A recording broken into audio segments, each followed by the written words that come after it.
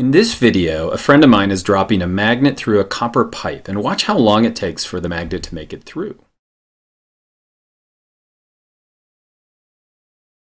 So then I took a video of it from above, and you can see that it's almost hovering as it moves through the copper pipe.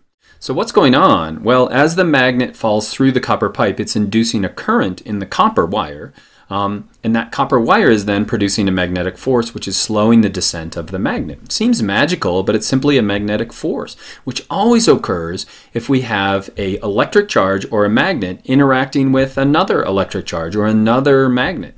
And so what are magnets? Remember, they're essentially magnetic dipoles. They have a north and they have a south. And a way to visualize that is like a vector that goes right through the middle. And so the north is at the tip of the arrow and the south is at the end of the arrow. And you can't break a magnet in, half. What you'll get is going to be just two new magnetic dipoles. You can never separate the north and the south pole.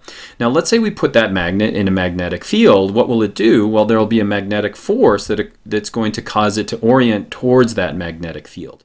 But it's not just magnets that are influenced by other magnets. If we have a moving charge moving through a magnetic field, there will be a magnetic force on that. And we can use the right-hand rule to figure out where that force is going to be. And so a magnetic dipole, remember, has a north and a south. And an example of one could be the Earth. An example of one could be a compass needle. It's simply a tiny little magnet. And so if we put these inside a magnetic field, there will be a magnetic force which causes them to orient towards that magnetic field. Now all magnetic fields aren't just linear like this. And so if we take a compass and put it all the way around a magnet like this, they'll turn every which way, which seems confusing until you start to visualize where these magnetic field lines go. And a good way to do that is to use iron filings on top of it, and you'll start to see how each of these uh, magnetic dipoles is orienting itself towards the magnetic field. Now, scientists knew for a long time that there was a relationship between magnets and electric charge. But when they would hook a wire up and put a bunch of uh, compass needles around it, nothing would happen until they ran current through it. And as you run current through that wire, all those compass needles are going to line up towards a magnetic field. And so a moving charge is producing these magnetic fields. And so a way to figure out which way they're moving is with the right hand rule. And so if we look at this wire right here, the electric current is coming towards you. And so what you do is you point your thumb in the direction of current flow, and then your fingers are going to wrap around in the direction of that magnetic field. And so if we have a wire like this, so the current is moving from the bottom to the top, can you use your right hand to figure out where that magnetic field is going to be? It's simply going to wrap around like that. It's going to wrap around, thumb in the direction of the current, and just wrap your fingers around. But it's not just right there, it's going to be all throughout the wire. And so an interesting question might be, well, that's a linear wire. What, what happens if we take the wire itself and put that in a loop? What's the magnetic field going to look like? Well, it'll look like this. And so now we've got the current coming in on this side. So the current's coming in on this side.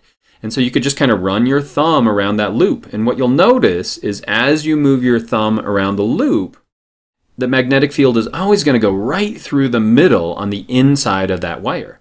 And so by running current through a loop of wire, what you really create is a magnetic dipole. You have that magnetic field produced right through the middle of the loop. And so let me show you an example of how that works. Now we've got a compass. This is a PHET simulation. I'm moving the compass around this magnet. So you can see that it's starting to orient towards the magnetic field produced by the magnet. And so we can turn on those magnetic field lines and you can see that it's orienting towards them perfectly. It's lining right up. Now what we can do is run electricity through a wire. I've now got a compass moving it around this wire, but it's not responding, and that's because there's no current. When I turn it on, then we can see how the compass is starting to orient towards that mag magnetic field that's being produced by the current in the wire itself. And so we could turn on those magnetic field lines and you can see it looks just like a magnet. We can actually, if we're careful, move it right through the middle of that loop. Now what would happen if we increase the number of wires to the electric field or the, rather the magnetic field? You can see that it's getting greater and greater. And that's why there's this link between electricity and magnetism. And so a neat experiment you can do with this is using a solenoid. And so what we have is a wire that's just twisted over and over and over again. Now in the lab, a really good thing to use as a solenoid would just be a slinky. You can stretch it out on a table, you can kind of tape it down or clamp it down so it doesn't move. Uh, in this lab, what I've got here is a power supply, so that's producing current, and then we have a rheostat, so we can we can change the amount of current that's actually making it through the wire. And so before we get to the actual lab, where is the magnetic field going to be produced? Let's say the current is moving from the right towards the left. Where's the magnetic field going to be? It's going to be right through the middle of the solenoid like that. And so we can use a magnetic probe. There's lots of probeware you can use where you can put the magnetic probe right in the middle of the solenoid and it's going to measure in Teslas the strength of that magnetic field. And so I can think of a number of different labs that you could do here. So we could change the current. What do you think is going to happen as we increase the current to the strength of the magnetic field? What else could we do? We could have the wires clamping on at different points, and so we could have different coils inside our solenoid and see how the number of coils is influencing that magnetic field. Or we could take our slinky and bring it really close to itself or stretch it way out. We could increase the distance of that solenoid, and we could measure that magnetic field as well. It's probably safe to say that you have a very good idea of how the magnetic field of a bar magnet looks like.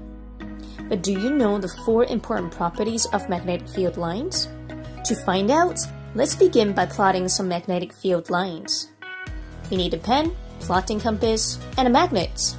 My magnet doesn't tell me which is the North Pole and which is the South, but we'll find out soon. Place your magnet in the middle of the page and trace around it. Place the plotting compass near the magnet. Mark the direction that the compass needle points by drawing a dot. After the first plot, move the compass so that the back of the needle lines up with the dot. Repeat this until you reach the end of the magnet.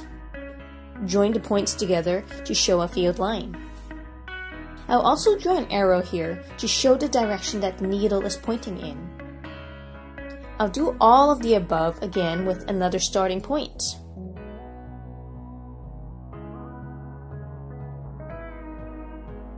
Looking at the field that we've plotted, we can figure out the four main properties of magnetic field lines. Number one, magnetic field lines never cross each other, they never overlap.